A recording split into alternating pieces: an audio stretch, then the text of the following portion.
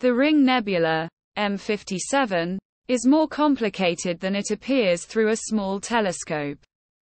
This composite image includes red light emitted by hydrogen as well as visible and infrared light.